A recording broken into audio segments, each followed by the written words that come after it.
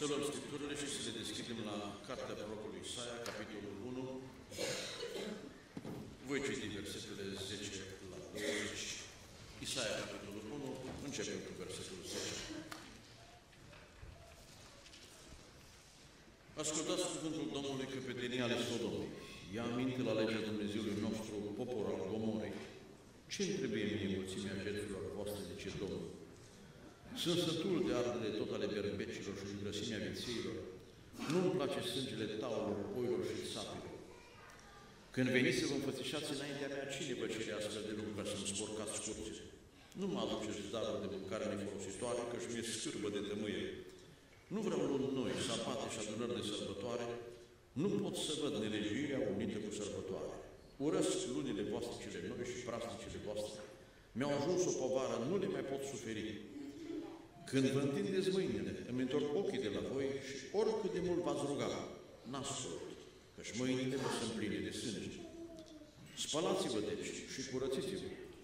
Luați dinainte ochilor mei faptele pe care le-ați făcut, încetați să mai faceți rău. Învățați-vă să faceți binele, căutați dreptatea, ocrotiți pe cel asuprit, faceți dreptatea orfanului, apărați pe văduvă. Veniți totuși să ne judecăm, zice Domnul. De vor fi păcatele voastre cum e cârnâzul, se vor face albe ca zăpada, de vor fi roșii ca purpura, se vor face ca lână. De veți voi și veți asculta, veți mânca cele mai bune roade ale țării. Dar de nu veți voi și nu veți asculta, de sabie veți fi înghițiți, căci gura Domnului a vorbit. Amin. Amin. Reașezați-vă, vă rog.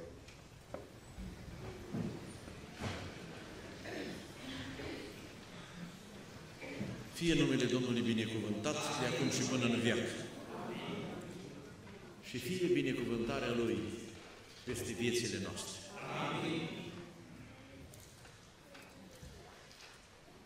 Am citit aceste cuvinte și vreau să le urmărim, să observăm înțelesul lor. Subtitlul Între belșug și sabie. Acestea amândouă sunt hotărâri divine. Binecuvântarea și blestemul vin din gura lui Dumnezeu. Nimeni altul nu poate să le pronunțe așa ca El. Le-a rostit prima dată, atât binecuvântarea cât și blestemul. Și noi avem de ales. A spus Dumnezeu lui Israel, alege. Binele, viața, pe principiul binecuvântării. Alegeți, dragii mei, în această seară, între belșug și sabie.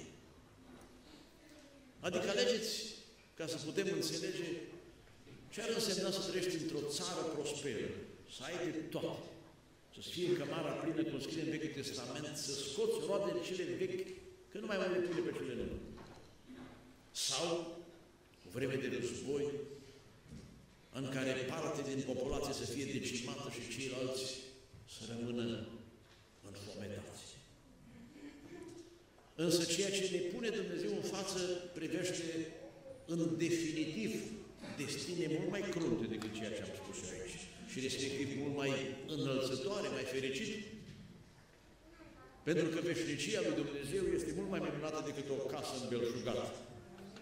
Dar și pierzarea eternă e mult mai crudă decât orice holocaust, decât orice stare de război cu toate efectele ei nefaste. Vreau să urmărim mai întâi textul acesta și, evident, privind în contextul Bibliei, dar aș avea o întrebare mai întâi. Vreți tot să ne verificăm sau îi aveți numai pe unii vizați pe care vreți să-i testăm în seara asta? Domnul știa că numai unul avea să-l vândă, dar i-a provocat pe toți să se întrebe, nu cum sunt eu. Ce ar fi să facem și noi în această seară o întrebare? Eu primul mă cercetez și conștiința mea lucrează în timp ce predic și dați și dumneavoastră liber arbitrului acesta, va chiar mai mult. Nici conștiința nu e perfectă. Să rugăm pe Duhul lui Dumnezeu să ne cerceteze. Amin. Să ne putem vedea starea și în final Domnul să ne dea har ascultându-l și făcând voia Lui ca să ajungem la belșug, nu la sabie, amin? amin? În primul rând vreau să observăm aici că pe pământ sunt două feluri de păcătoși. Textul a început cu cuvintele Ascultați cuvântul Domnului căpetenii ale Sodomei, ia aminte poporul al Gomorei. Spuneți-vă rog, Isaia a trăit în vremea Sodomei și Gomorei? Nu dar s-a mai predicat, Sodoma sau Gomorra, ca Isaia, vreau să vi se adresez. De ce a folosit Dumnezeu terminologia aceasta atât de dură? De ce? În versetele anterioare și citite, observăm că Isaia avea un mesaj de fapt de Israel.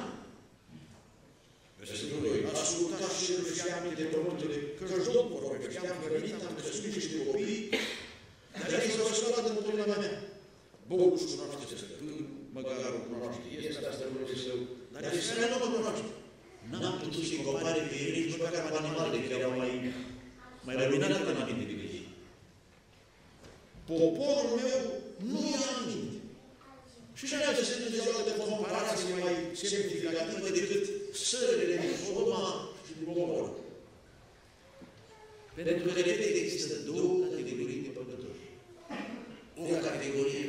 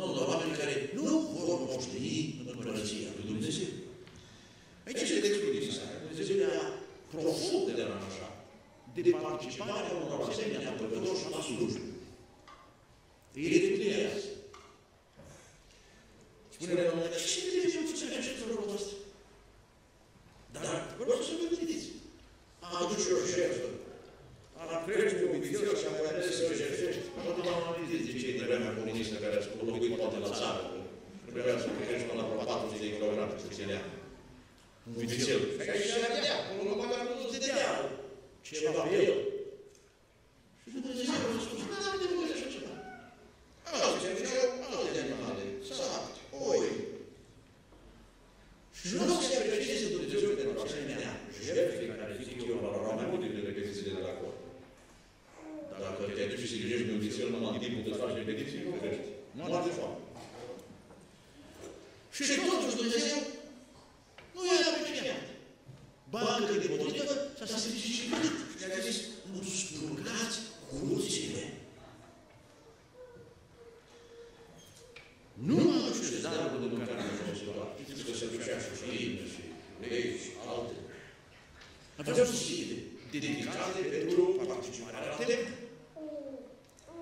Dumnezeu îi numere câteva metri, mai are unul nume, mai are o șampane, mai vreau Dumnezeu să sărbătoare.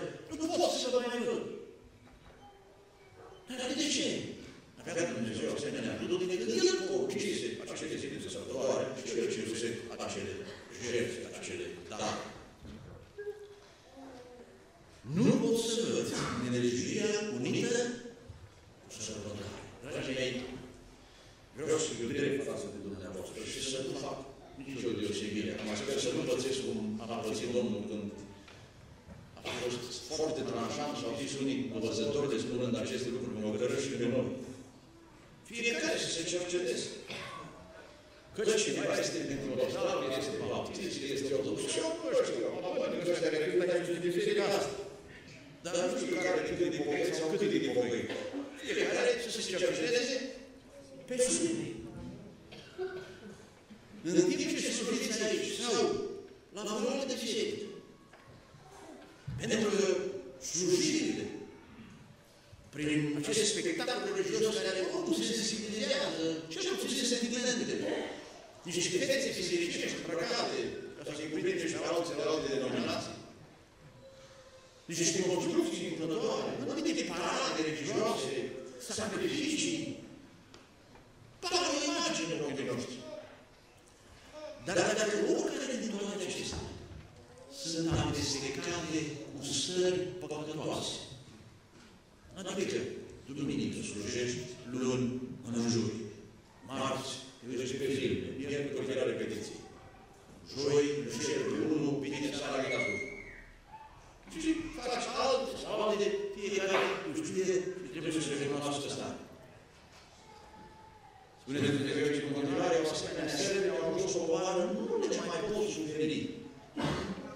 Și pentru că ei n-au ascultat, Dumnezeu le-a spus la un moment dat, amintiți-vă de să fie profeți, cine din voi va închide curțile ca să n-aprindeți degeaba focul, că numai mi se ridică în nări mânia aprins.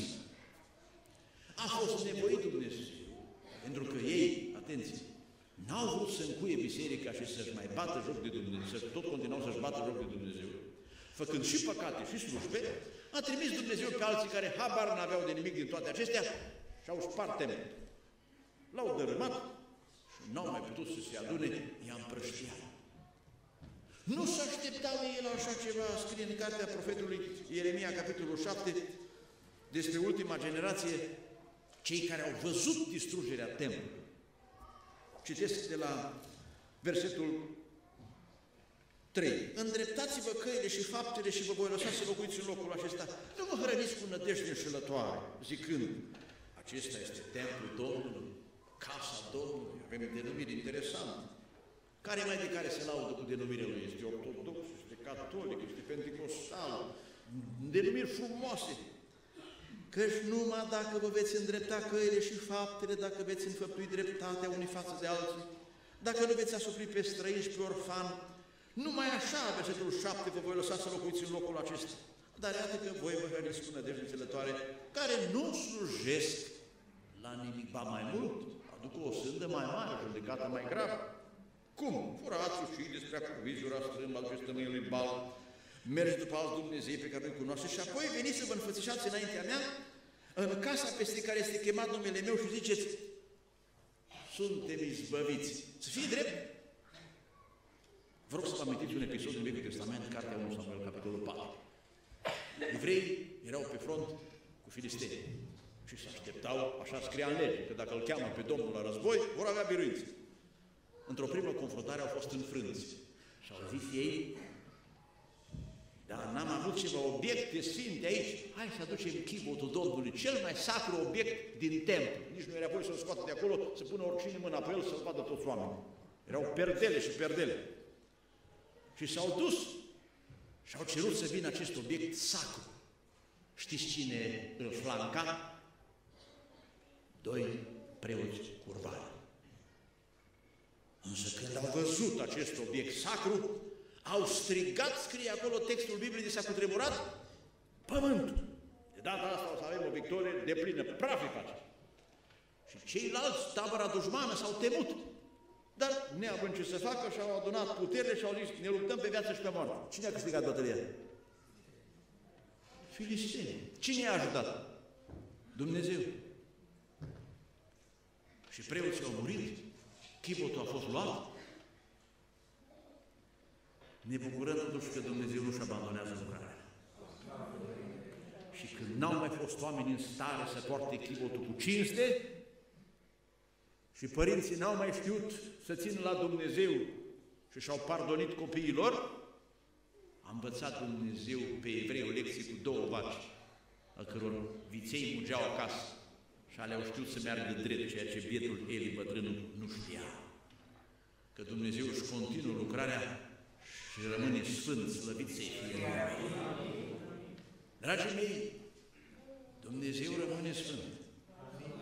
Fiii lui Aron au murit când au adus foc străin, dar nu toți au murit care au adus foc străin. A lui Eli făceau ce voiau. Și i-a îngăduit Dumnezeu o vreme, dar în final bine a fost de ei sau rău. Doamne, îndură-te de Așadar, eu cred că ați înțeles ideea, explicații pot fi multe, să ne păzească Dumnezeu să fim niște ipocriți, care facem și slujbă, în același timp facem și păcate. Povestea fratele Zaharia Bica de la Cluj că s-a fost la o adunare la evangelizare și până să se întoarcă acasă cu trenul, mai avea o oră și ceva. Și slujitorul îi zice, uite, tinerii noștri rămân după adunare, câțiva zeci de băieți, n-ai vrea să vorbești cu ei. Te duce fratele ei și spune, băi băieți, voi filme urmăriți Pierdeți vremea pe internet cu imagini și cu toate celelalte. Care nu se îndelencește cu așa ceva. Au fost sinceri. Fratele a zis, cel puțin pe astăzi, mintea pe virusată, n-am ce povesti cu voi. Și a băgat Biblia în jantă și a plecat și a stat în gara. Adică oameni care amestecă lucrurile, le este efectiv mintea tulbure, încât uh, nu se mai poate opera cu ea. De aceea Dumnezeu a zis, scrie aici în Isaia, capitolul 1, în versetul 15,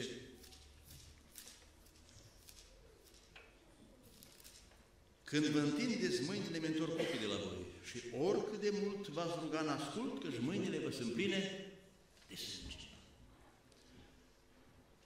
cum văd că v-am adus într-un moment de reculegere, chiar era nevoie. Pentru că, dragii mei, n-are rost să batem din palme dumneavoastră și o să bat din gură. Mai bine să fim sinceri înaintea Domnului, că atunci când venim la biserică, Domnul vrea mai întâi să ne recunoaștem păcatul. Spuneți-mi, vă rog, este interesat Dumnezeu când intrați în biserică de altceva mai întâi decât să recunoașteți că ați greșit și El să vă ierte? De nimic nu este interesat mai întâi. Pentru că Dumnezeu nu vrea ca noi să ne recunoaștem păcatul numai așa să ne apese și apoi să ne zdrobească. Dumnezeu vrea ca să ne recunoaștem păcatul, fiindcă își dorește nu moartea păcătosului și viața. De aceea facem ser de evangelizare, ca să ne pocăim. Și Dumnezeu să-i ajute pe toți. Nu cumva să facă parte din categoria de păcătoși care fac și slujbă. Dumnezeu nu o primește, din potrivă, eu sunt dai mai mare. Trec mai departe. Vreau să observăm două feluri de tratament pentru acești bolnavi. De ce spun tratament? Pentru că scrie aici în capitolul 1, versetul 6, din tăl până în crește nimic nu-i sănătos. Că uneori, v-am spus, mintea e afectată de internet, apoi să o luăm de la crește până în tălpi, noi să vedem invers. Când te uiți la unii cum arată îmbrăcați, îți dai seama că nu e nimic sănătos. Vânătăie și carne vie, că dacă ar fi rele numai pe din afară, hai că le-am spoi cumva. Dar sunt și pe dinăuntru, nelegate, nealinate cu un de lemn. Pentru că dacă intri să-i cercetezi pe oameni, adesea sunt stări de ură, dușmănie, certuri, stări vinovate. Și Dumnezeu ne cunoaște. Și El, repet, rămâne sfânt.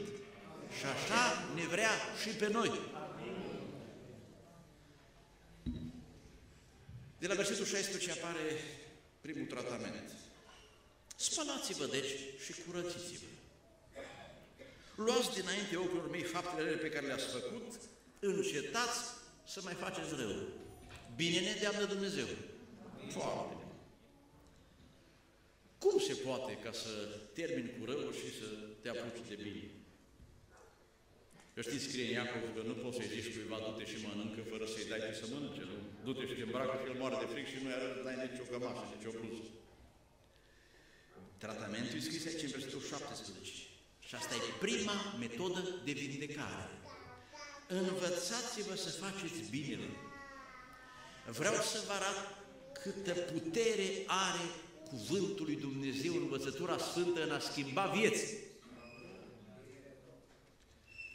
Vă citesc din Efeseni, capitolul 4, cuvintele Apostolului Pavel de la versetul 20. Dar voi n-ați învățat așa pe Hristos. Dacă cel puțin l-ați ascultat, de aceea vă spuneam să fim cu luarea minte. Dacă cel puțin l-ați ascultat și dacă potrivit adevărului care este în Iisus ați fost învățați cu privire la felul vostru de viață din trecut, să vă dezbrăcați de omul cel vechi, de stările vinovate de care aminteam, care se strică după pofte neșelătoare și să vă înnoiți în Duhul minții. Dumnezeu vrea să lucreze în mintea noastră prin învățătură. Să vă îmbrăcați în omul cel nou, făcut după chipul lui Dumnezeu, de o neprihănire și sfințenie pe care o dă adevărul. De aceea ne-a lăsat Dumnezeu cuvântul Său cel plin de har și de putere. Ca noi să învățăm ce este bine, să știm să ne ferim de rău, să știm ce metode să folosim în a ne fi schimbată viața. În aceeași idee citesc de Roman, capitolul 12, primele două versete și vă recomand să vă faceți timp pentru asta, nu numai la biserică. Dragii mei, cum aminteam cazul cu fratele Zaharia, dacă o oră numai aici învățați și mergeți acasă și mai stați trei ore pe internet, apoi știți când vacile lui Faraon cele slabe au mâncat pe cele grase și toți slabe au rămas. Așa a știut noastră. Că degeaba te îngrași aici de cuvânt Apoi când mergi acasă, ești gata. Numai un videoclip trebuie să vezi. Dacă nu-i ceva sănătos în el. Și s-a șters tot. S-a virusat. Numai o repriză de la un meci să vezi după ce ai stat la slujbă. Crezi că o să ții minte versetul de aur? O să ții minte cine o da golul. Și ești gata. Pentru că n-ai cum. Vă îndemn, dar, fraților, pentru îndurarea lui Dumnezeu, să vă aduceți trupurile voastre ca o jertfă vie, sfântă, și frumos se leagă asta cu ce am citit din Isaia. Nu adu tu jertfă, adu-te tu jertfă. Asta vrea Dumnezeu. Că așa tare simplu ar fi, Doamne, cât timp poți să-ți dăm? Facem seama. Și îți dăm, Doamne, vrei două ore? Ți le dăm. Și Domnul o să spună, lângă doi mai trece un patru, 24. Pentru că Dumnezeu ne vrea. Și cântarea ți în seara asta o cântare, era ceva de genul că îi aparțineți de totul Domnului, Doamne ajută! Înseamnă că de acum următorul film o să-l mai puteți viziona numai când o să dea click un înger. Îi spuneam unui frate care a zis că el nu joacă numai tenis de câmp, că ăsta e cel mai nevinovat sport. Că trebuie să fii îmbrăcat cât mai regulamentar și este foarte fair play. I-am explicat puțin și a zis, eu nu mă las de sportul ăsta până nu mă încuvințează Domnul. La care, știți care era răspunsul? Dacă să te apuci de el, Domnul te-a încuvințat. Că unii vor că ei nu se lasă de o anume stare până nu încredințează pe ei Domnul, dar ca să intre în starea aceea, Domnul le-a vorbit printr-un proroc. A avut un vis, nu? Să-și facă cont pe Facebook. A fost de la Domnul, frate. Ca și căsătoria lui Samson, probabil. Cam așa vine de la Domnul, de nici lunta nu s-a putut termina cu bine. Vă rog să mă înțelegeți, dragii mei. Dumnezeu ne vrea pe noi sfinți și fără prihană. Știți cât de sfinți? 1 Petru 1. Fiți sfinți cum eu sunt? nu prea mult. Nu, că Duhul Lui îl trimite și în noi. Nu, că și neprihănirea Fiului Său ne-a dat-o nouă. Noi nu purtăm neprihănirea vreunui înger, ci a Fiului Său prea iubit. Versetul 2. Să nu vă potriviți chipului veacului acestuia, ci să vă prefaceți prin înnoirea minții. Și ca să te prefaci prin înnoirea minții, ascultă-mă ce spune. Asta e metoda de vindecare pentru tine, pentru tine, luat la rând. Nu mai citi cărți care nu sunt bune, nu te mai uita la imagini păcătoase, nu mai pierde vremea cu oameni care nu serioși. Că destul trebuie să te suporți vorbele când ești la servici, dar mai n-ai cum să ieși din lume. Dar cel puțin în timpul liber, acasă, treci la o infuzie de scripturi, predici, apucă-te și cântă, învață poezii, memorează psalmi și cel târziu până la vară sfânt te faci. Vreți? E greu tratamentul ăsta. Să spuneți, frate, asta e cură de sfințire. Da. Nu asta trebuie. Și veți vedea cum se schimbă lucrurile. Am cunoscut un frate la Viena, era exact de vârsta mea, s-a pocăit când avea 36 de ani, un gangster de om. Am stat în casa lui în vremea aceea vreo de zi. Citea din Biblie 3-4 ore pe zi. Se ruga 3-4 ore pe zi. La un moment dat începea să strige, că era un tip așa extrovertit, un coleric, și știți că nemții cu liniște, băteau un perete, dar era apartament de proprietate particulară, până la urmă s-a mutat la o casă. Și zicea unul despre el, ăsta n-are cum să se pocăiască, e prea îngropat în rău. Mi-ar fi greu să vă spun, nu cred că este vreunul aici în sală, după păcătos cum a fost. Nu cred. Și spuneau, n-are cum să se pocăiască. Este în sânge păcatul. Multe, multe. Și el zicea, cum o slăbesc cu regimul ăsta, cum mă, mă inundă gândul, ispitele. Și de aceea spune el plângând, citesc 4-5 ore. Mă rog, 4-5 ore, asta pe lângă serviciu, deja avea soție, avea un copilaș atunci. Și a ieșit biruitorul. Este un om credincios, o familie bună, are niște copilași, dacă mergeți pe la Solenau, undeva lângă Vină Roștă, are niște copii, 5, 7, 10 ani, să vedeți ce descoperiri Dumnezeu știu copiii ăștia. De te rogi cu ei, nu-ți mai trebuie raze. Nici confesiune, că te mărturisește în public. Ce am, de ce am spus asta? Iată că a reușit nu numai el să fie schimbat, și să se ocupe și de generația care a dat-o Domnul în casă. Dar asta nu se poate fără a te învăța să faci bine. Fără a te profunda, a te dedica Scripturilor Sfinte, părtășiilor de la adunare. Doamne, ajută! Spune Scriptura în Habacuc că Dumnezeu vrea să fim plini de cunoștința Domnului ca fundul mării de apele care la copăr. Efeseni, capitolul 3, versetul 6. Coriștilor, ia verificați repede dacă asta e valabil și pentru voi. Cuvântul lui Hristos să locuiască din care a fost titlul predicii noastre, între belșug și sabie. Vrei belșug? Dacă vrei belșug, mai întâi belșug din Scripturi. Dacă nu belșug din Scripturi, să fie rai cu țărită.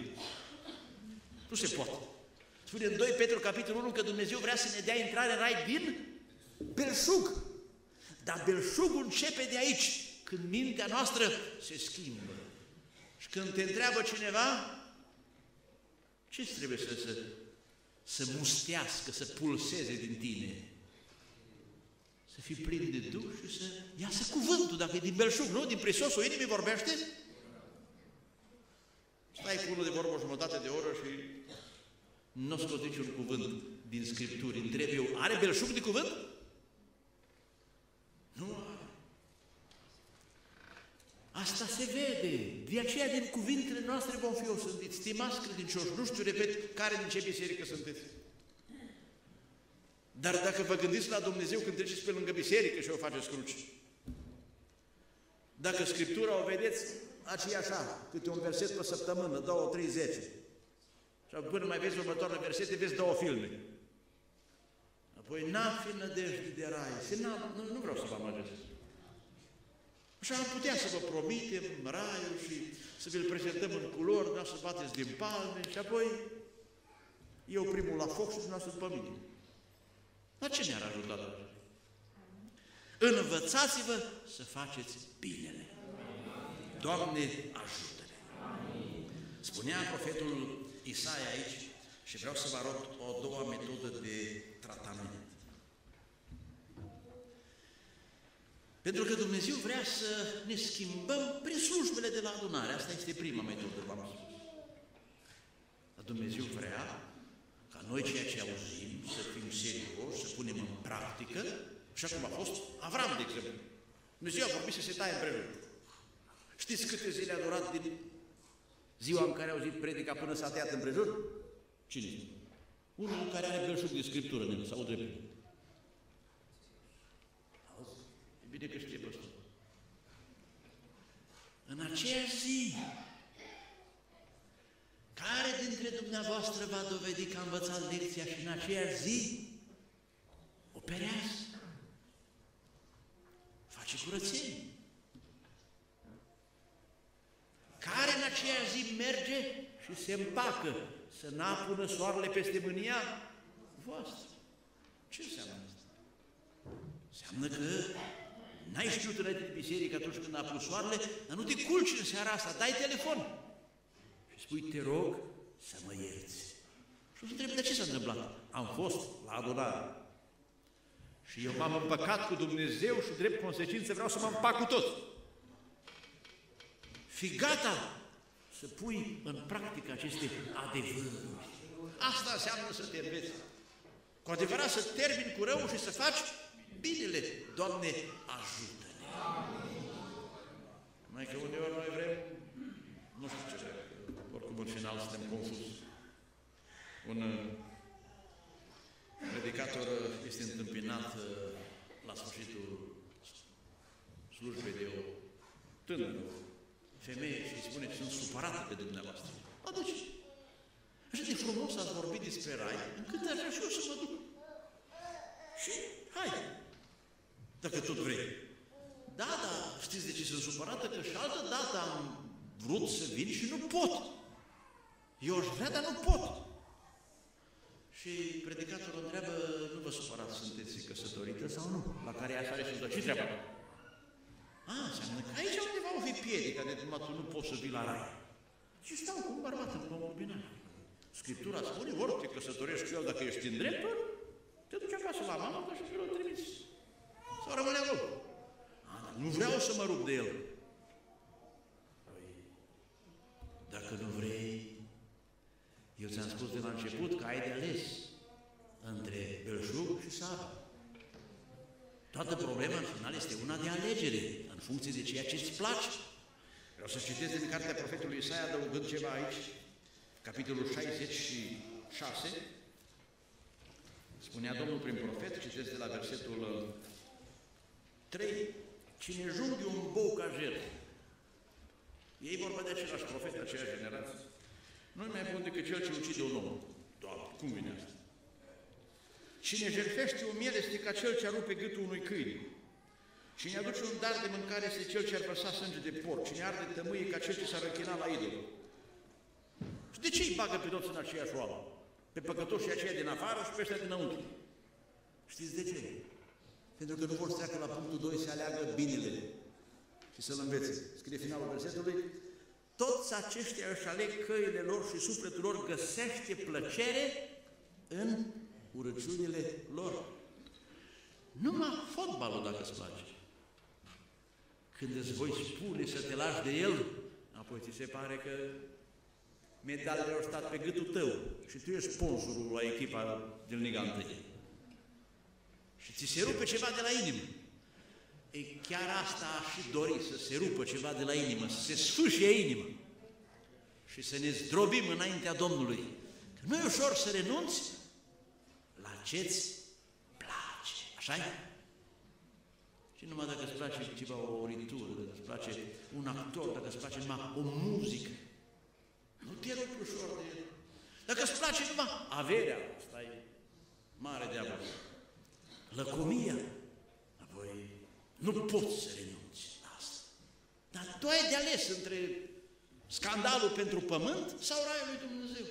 Ana, că Dumnezeu așa potrivește lucrurile la predică, Dumnezeu îți vorbește și prin vis, ca să te facă să înțelegi. Ni se întâmplă nouă de ori la predicator că vine câte unul la urmă și spune, dar de ce ai avut cu mine? Dar de ce? Ai vorbit exact de problema mea la care eu spun, mă bucur. Înseamnă că n-am dus scrisori fără adresă. Dar ți-a spus cineva? Nu. Înseamnă că Domnul îți vorbește că te iubește. Și vrea să te schimbi. Dragii mei, când mergem la medic, ce ne place să ne spună doctorul? Ce frumos arată la 50 de ani. Parcă ești la 30 de ani. Și peste 20 de ani ai vrea să spună tot așa, nu? Și a doua zi mergi la medicul familie cu constatarea decesului. La medic nu te duci să spună ce frumos e culoarea la ochii tăi. Să-ți analize și ești gata să suporți orice tratament. Dumnezeu să vă dea pricepere, să acceptați. Numai culmea este că unele acceptăm să ne opereze nenea doctor, ne acceptăm să ne opereze nenea predicator, așa De ce nu? Vă anesteziem și noi, ne rugăm, rugăm pe Duhul Sfânt să vă dea o undă de har să puteți să plângeți puțin și să acceptați asta. Dar trebuie să o faceți și firea să se frângă. Am accentuat acest aspect pentru că vreau să leg de metoda a doua de vindecare. Isaia, capitolul 1, versetul 18. Veniți totuși să ne judecăm. De vor fi păcatele voastre cum cârmul, se vor face albe ca zăpadă, vor fi roșii ca purpura, se vor face ca lână. La ce judecată se referea Dumnezeu? Citeți versetul 25. Îmi voi întinde mâna împotriva ta. Îți voi topi zgura cum o topește leșia. Toate părticelele de plumb le voi depărta din tine. Versetul 27. Sionul va fi mântuit prin judecată. Cum? Că Domnul ne-a promis că noi scăpăm de judecată. Nu predicăm noi așa la mormântări? Ba da, nu mă știți cum sună versetul. Cine ascultă nu vine la judecată. Dacă ar ascultă. Primul tratament se numește ascultare cu învățare. Vindecare la slujba de la adunare. Al doilea tratament e atunci când, așa cum spune în Corinteni 11, ne judecă Domnul ca să nu fim osândiți odată cu lumea. Și să știți, ca slujitori, asta oarecum este liniștea noastră și ajutorul care Domnul ne-l dă. Adică noi vă predicăm și voi nu vreți să ascultați. Și vine Domnul în urmă cu judecata. Și Domnul îți umblă la sănătate, îți dereglează conturile. Pentru că așa spunea eu botezătorul. Eu vă predic și care era sincer întreba. Eu sunt... Uh, lucrez la finanțe. Ce ar ține la mine pocăințe? Că eu botezător numai asta provodea. Pocăințe. Băi, trebuie să respecti tarifele de impozitare. Că mai le rămânea și lor un bacșiș, nu dădeau tot la autoritățile romane. Dar nu toți făceau așa. A venit unul să boteze numai să scape de mânia viitoare. Și le spune Ioan, băgați de seamă că eu botez, vă botez cu apă, dar după mine vine unul care ce are? Are și foc, nu numai apă. Adică apa e de la amvon, focul e pe unde l-a prinde Domnul. Și ce nu se rezolvă cu apă, se curăță cu foc. Dumneavoastră cum vreți să fiți spălați? Cu apă sau cu foc?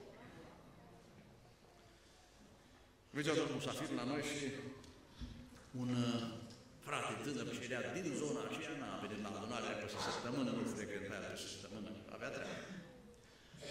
Și vine să se întâlnească el la masă când au servit și zice, vezi, eu n-am putut să ajung, doar mă iartă Domnul. La care un altul zice, da, numai procesele astea verbale de iertare pentru cei ce nu vin peste săptămână la adunare se semnează la spital. Că Dumnezeu le-a spus la evrei, respectați zilele sfinte și anii de odihnă a pământului. Nu i-au respectat ei. Și a rupt Dumnezeu calendarul când a văzut că ei nu respectă. Dacă tot nu respectă, pe ce mai ține acolo pe perete? Nu, m-a bifat. Încă unul, m-a bifat unul. Apoi au tras linie și le-au adunat. Eu dat o socoteală, eu scos din țară, dus în Babilon și o să mă numărați voi. Că până acum am numărat singur. Cum ați vrea să vă mântui Domnul? Judecându-ne noi sau când ne judecă El? Dacă când vă judecă cineva de la adunare, atunci vă place?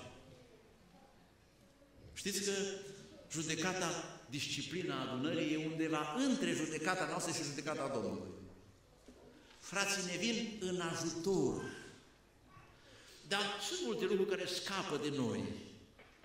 Pentru că nu cunoaștem noi ce este inima oamenilor. Oamenii se pot ascunde. Dar intervine Dumnezeu. Slăvit să fie Dumnezeu. Ascultați-mă ce vă citesc din Isaia, capitolul 4, versetul 4. Hai și 3. Și cel rămas în Sion, adică cei ce vor rămâne cu adevărat pentru mântuire, pentru belșug, cel lăsat în Ierusalim se va numi Sfânt. Oricine va fi scris printre cei vii la Ierusalim, după ce va spălat Domnul murdările fiicii Sionului și va curăți Ierusalimul de vinovăția de sânge din mijlocul lui. Știți că le erau mâinile pline de sânge. Spus, Domnul, nu ocup eu de asta. Îi va curăți cu Duhul judecății și cu Duhul nimicirii. Fac aici o mențiune. Să nu creadă toți credincioșii. A, va să zic că e simplu. Dacă nu mă pocăiesc de bunăvoie, vine Domnul cu măsuri punitive și tot în rai mă duce. E Duhul judecății și Duhul nimicirii. S-ar putea unii nici pedepsiți de Domnul să nu schimbe atitudinea. Nu toți cei ce vor fi judecați vor fi și mântuiți. Unii se vor numi argint lepădat, vedeți? Pe unii Domnul îi va lovi și ei tot nu se vor întoarce. În Amos scrie de câteva ori. Și cu toate acestea tot nu va se întorc la noi. Și sunt și alte referințe în uh, Scriptură. De aceea vă amintesc în acest context ceea ce scrie în Evrei, capitolul 12, pentru că, dragii mei, ceea ce vă spun acum are nuanță profetică. Dumnezeu a lăsat peste România de 20 și ceva de ani libertate să ne pocăim. La Revoluție românii au spus că se pocăiesc. Și Dumnezeu de 20 și ceva de ani face evangelizări la o biserică, la alta, la cămin, la radio. Și oamenii nu vor să se pocăiască. Puțin. Cu adevărat, foarte puțin. Și atunci Domnul e nevoit să vină cu astfel, altfel de măsuri. Iar cei ce nu acceptă nici metoda a doua, nu le rămâne decât să fie îndepărtați. Evrei, capitolul 12. Citesc de la versetul 3. Uitați-vă, dar cu băgare de seamă, pentru că nu cumva să vă pierdeți inima. Versetul 4. Voi nu v-ați împotrivit încă până la sânge lupta împotriva păcatului. Și ați uitat sfatul pe care vi-l dă ca unor fii, fiule, nu disprețui pedeapsa Domnului. Un cumnat al meu a fost chemat de Domnul la pocăință în tinerețe. A venit o vreme și a fost cuprins. Și când s-a dat, s-a dus odată din nou la băut, s-au bătut și și-a pierdut un ochi și o ureche. Și obișnuia să spună după aceea, a vrut să mă culeagă Domnul cu mreaj. Dar n-am putut fi cules. Atunci au aruncat undița și pe aici prin ureche au intrat acul și prin ochi o ieșit. Atunci m-au tras. Auzi, la tine pe unde vrei să înfingă Domnul acul de pescuit? Am cunoscut un tânăr în Banat, din Cărpiniști. Zicea, frate, am fost din familie de pocăiți, dar mai mult derbedeu. Și tot îmi spunea unii și mă întrebau, mai tu când te pocăiești? Asta mă pocăiesc. Și odată, făcut o ocluzie intestinală, m-am temut că mor. Urgent m-au dus, m-au operat. Pe când m-am trezit, m-am trezit cu alte gânduri. Că unii trebuie să operați și la stomac, nu la cap de Domnul, ca să se schimbe viața. Și l-am întrebat, de când te-ai pocăit? Până nu s-a făcut anestezia, când te-ai trezit din operație? Nu știu, dar sunt altul. Ma, știți care e problema? N-a rămas numai cu o cicatrice pe abdomen, a rămas cu regim alimentar pe viață. Nu-i tot una să fii cu doi ochi sau numai cu unul. Nu-i tot una în viață. A venit astăzi la mine, poate și de aceea am întârziat puțin, o tânără de undeva din județ. Frate, sunt drăgostită de un băiat din lume. Și vreau să mă pocăiesc. Nu se poate așa. Dar oare dacă el se pocăiește, dar bănuiesc că ai spus să se pocăiască, el nu vrea. Dar nu se poate cumva să-L iubesc și pe el și pe Domnul. Și i-am spus, draga mea, fete care au încercat ca tine și s-au nenorocit pe o viață, știu cu zecile și cu sutele, dar nu știu nici una la care să-i fi reușit o asemenea procedură. ție rămâne să alegi, te pocăiești acum și îți frângi inima, te rup de el sau ți se va frânge inima în durere peste ani și ani, când va veni la casă beat, cu duhoare de tutun, poate și cu alte lucruri. Nu, că se poartă frumos cu mine. Zic, stai, că deodată nu mi-ai făcut niciodată mâncare și mi-ai spălat haine și să faci curat în casa. Apoi să vezi dacă nu te ia la rost. Dar Era la noi un bătrân în Apuseni, explica la oameni. Sunt oameni înțelepți care așa ar vrea să-i sfătuiască pe alții, dar unii numai că nu vor să priceapă. Mi-am amintit de un alt bătrân și apoi vă spun despre. S-o oprea în loc prin satul ăsta, undeva lângă Cluj, în zona Tritene, Turda. Îi vedea pe oamenii nepocăiți, îi scăpeau lacrimi. Și seamă că tot nu vrei să te pocăiești. Ți-o mai dat Dumnezeu zile. Nu vrei să te întorci la ea. Nu vezi cât e de bun Dumnezeu, uite, gospodăria, ai de tot. Ce aștepți omul? Și pleca plângând mai departe, de vedea că omul e rece. Bătrânul cel de care m-am zis, avea o vorbă când îi le spunea la uneori și la familii din pocăiți, care nu erau serioși. Auzi, ascultă, pentru Domnul Isus, de dragul Lui, dar temete că Dumnezeu și foc mistuitor.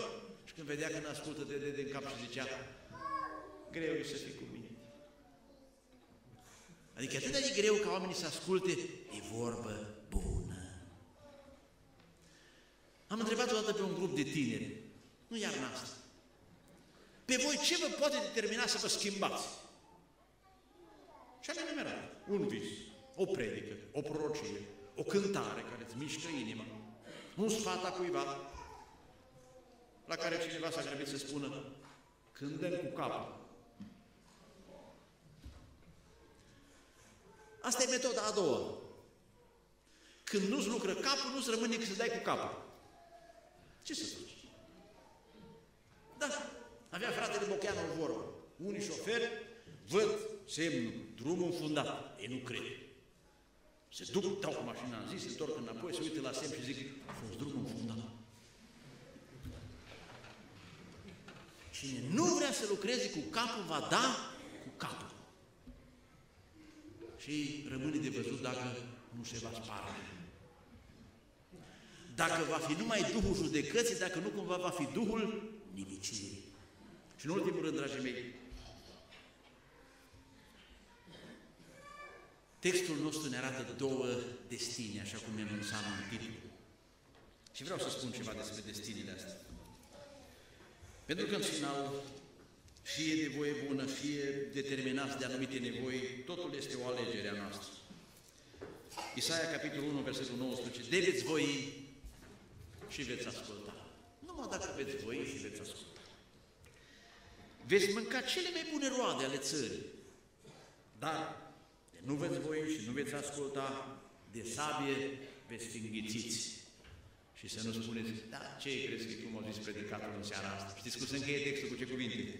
căci gura Domnului a vorbit. Dragii mei, nu e la mine cheia de la iad. Aia de la rai e la noi. E cheia cunoștinței. Și noi am vrea să vă mântuiți. Prima e trecută de veți voi, a doua e trecută de nu veți voi. Adică Dumnezeu se așteaptă să voim, nu? Asta e oferta. A nu voi ceea ce rămâne. Vreau să vă dau un exemplu din Scriptură, din Cartea Întâi Împăraților, capitolul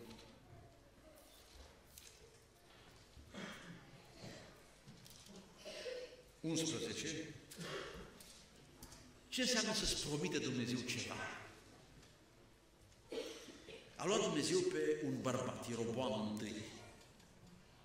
Și scrie din 1 Împărat 11 la versetul 37, pe tine te voi lua și vă rog, individualizați asta pe tine, de aici, de jos, de sus, te voi lua, zis Domnul.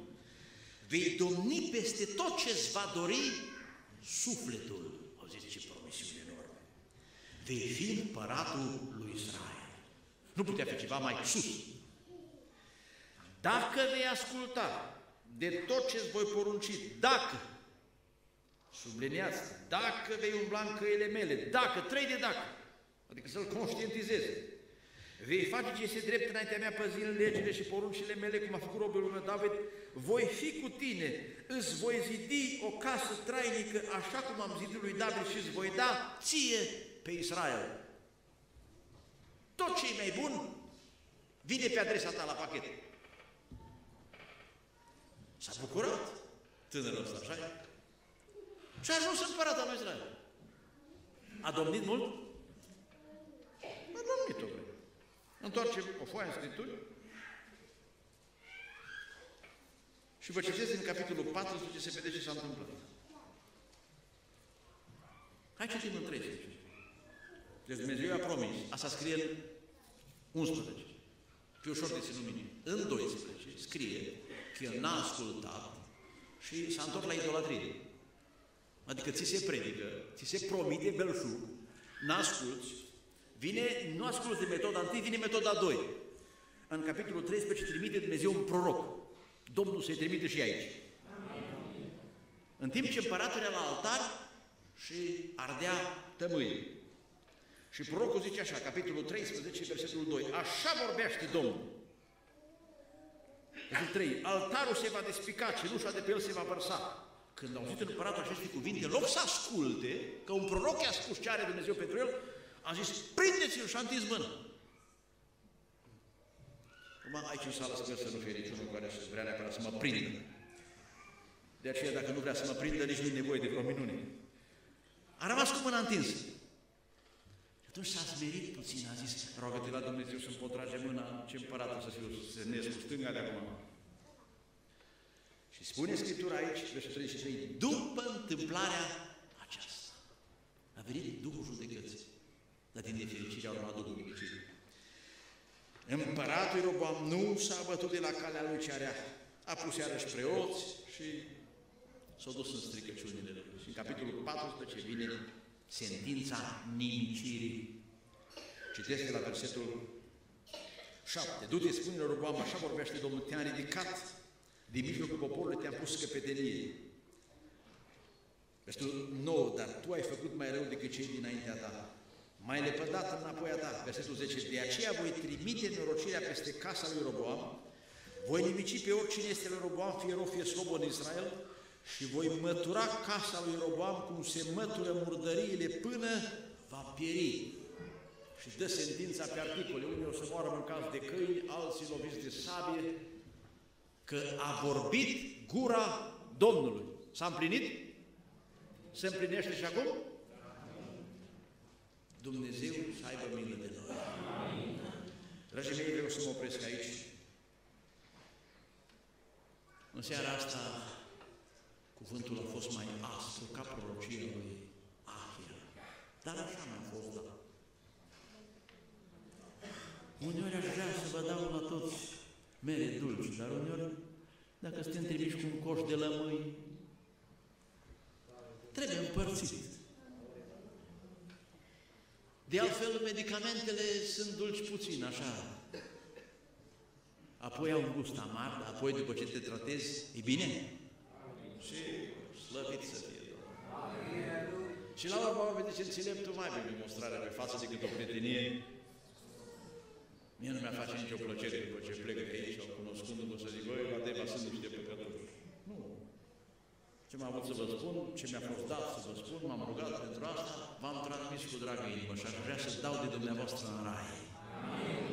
Și în adunare, ori pe unde mă duc, să ne întâlnim cu frații, surori, eu am o vorbă pe cei ce întâlnesc la adunare, sunt șanse să se întâlnim în rai. Noi de aici din față vă vedem fețele așa și vedem cam cât sunteți, cât la sută procent credeți ce s-au predicat așa. Mă depinde și ce vă spun ceilalți la ușă. Când mergeți pe drum spre casă, apar primele comentarii. Ce zici? Ne schimbăm sau nu ne schimbăm? Tu ce ești? Copiii nu se uită la tata și la mama să vadă tata să pocăiește, mama, ce zici?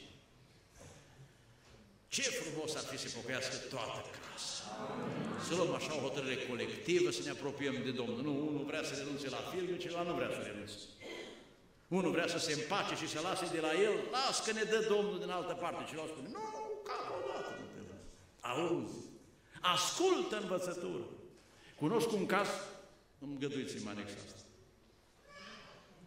Într-un oraș din România, un băiat de bangal, tată somare, ștab, se duce cineva la o cofetărie și comandă așa, în batjocură, și dați-mi, serviți-mi, vă rog, trei înghețate la două pahare. Nu, sau două înghețate la trei pahare, ceva de genul ăsta. Și fata aia, pocăită, și când vă hotărâți exact ce doriți, comandați. Eu sunt de peste tejghea și dă o pahară. Om nepocăit, evident. Fata asta era dintr-o familie mai mare. Și-a spus la frații ei, între ei unii erau pocăiți, alții nepocăiți. Unul din cei nepocăiți zicea, nu scapă. Pentru asta plătește 100 de milioane pe puțin. Acum luăm noi banii de pe ele, iar dacă nu, ne reglăm contul în natură. Și spune la un alt frate de-a lui ce ne-a pocăit. Ăsta zice, măi, cum să facem noi una ca asta? Până la urmă a reușit să-l convingă să scadă suma la 50 de milioane. Zice, și atât mai mult, dar cum? El între timp a uitat să vă spun să dusese și te duse 5 milioane la fată înapoi. La vânzătoare. Ea la buhelă, ea a lăsat acolo și a plecat.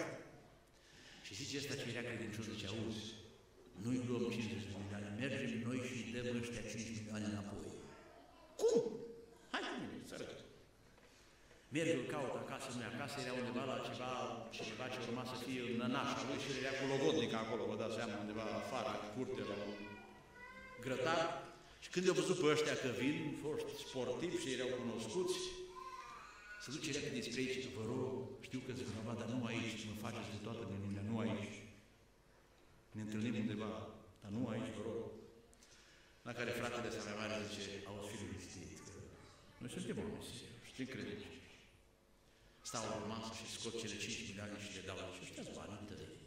Nici vorba, să pentru fată, dar vreau să dau mai mult, dar vă rog. Auzi. Și noi am fost tineri și nepricepuți și am greșit. Fii pe pace, asta nu se iau în cap. Nu am venit doar să-ți dăm bani, să te salutăm și să dorim petrecere plăcută mai departe. Omul acela a povestit apoi și a zis, băi, respectivii spocăiți. Au trecut de atunci câțiva ani, respectivul, au ajuns el între timp un șef. Dacă merg la el credincios și se rezolvă o problemă, sau când se întâlnesc cu ei, îi respecte de zici că ei sunt șefii lui. Pentru că asta i-a încrustat inima. Asta vrea Dumnezeu să fim lumini. Și într-un domeniu al evlaviei, pentru o student care este curată și nu-și permite prietenii ușoare, pentru un băiat cu demnitate care nu vorbește vulgar, un om de afaceri care este corect, ăștia Sfinții lui Dumnezeu. Și ăștia când vin să face, să facă slujbă, se deschide cerul. Îngerii le primesc slujbele, vor rămâne registrate cu un ecou etern și vor primi răsplată pentru tot ce au făcut. Pentru că Dumnezeu ne vrea sfinți. El știe că sunt de păcătoși, dar vrea să ne ierte. Care sunt metodele de iertare și de vindecare? Să învățăm. Dumnezeu ne-a creat ființe inteligente. Noi putem să ne spălăm mintea de tot ce e rău, să ne nobilăm mintea cu ceea ce este bun și viața noastră se va schimba. Dinăuntru vor fi alte programe. Ne introducem și un antivirus inteligent, când mai vin gândurile să le imediat ridicăm bariera să nu treacă și toate astea gândindu-ne că în final ne așteaptă belșugul. Vă doresc să intrați acolo în belșugul casei lui Dumnezeu. Să stați la umbra pomului vieții și să gustați. Veți întineri cu fiecare în bucătură. Veți fi frumoși ca divinitatea, smărit și slăvit să fie Nu o să vă pară rău de nimic de ce ați pierdut. Nu o să vă pară rău după nicio poftă și o plăcere ce ați abandonat-o. Ba mai mult, vom fi conștienți că asemănându-ne cu Dumnezeu, distanțându-ne de orice formă de păcat, intrăm în acea comuniune a Sfinților, că viața veșnică e aceasta, să fim ca Dumnezeu și să stăm împreună cu El. Doamne ajută-ne! Amin!